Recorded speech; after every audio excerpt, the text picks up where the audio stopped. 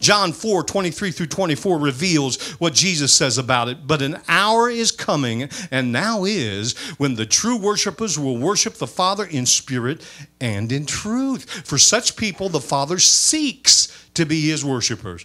God is spirit, and those who worship him must worship him in spirit in truth. Somewhere, somewhere in between all of our religious role playing is the Word of God. And that's where we need to be. That's where we belong with the Word of God. Worship then encompasses the entire life ascribing worth and worthiness to God by the way we live.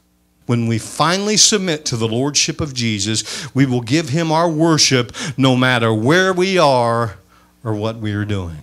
Worship is what you do because you are a worshiper. You don't worship to become a worshiper, you worship because you're already a worshiper. That's the state of your being, or at least it should be if we remember who we are and who resides in us now expressing our love for God through Jesus Christ. It's about honoring Him. And the only external motivation we need to do that already exists inside of us.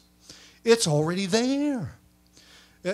Wow, no amount of the right kind of music, no amount of the right kind of atmosphere, uh, no amount of uh, the right style that you may prefer, you know, no amount of mood setting is necessary because the mood was set when the Holy Spirit came to reside in you the moment you said yes and accepted, believed, and confessed Jesus Christ as Savior, you became a child of the King. There's nothing inherently wrong with any of those things I just mentioned, by the way. Nothing wrong with atmosphere, but that's that's an outside in. This is an inside out process. Worship is inside out, not outside in. It shouldn't matter if the lights are up or down or gray or green or, or where you are or what you're doing. We're called to an everlasting preoccupation with Jesus the Christ. God centered worship, not church centered not religious organization centered, not pastor centered, God centered worship. It has to be that you come to the form, you realize it's just you and Jesus.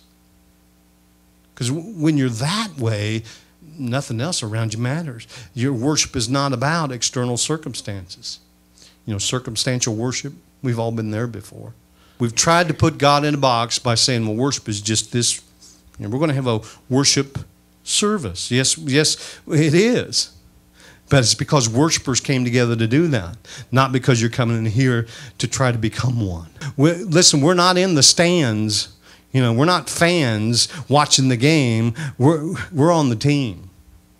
It's a deep sense of need that prompts worship the need for a Savior each and every second of our lives. And that's the fundamental nature of experiencing true worship.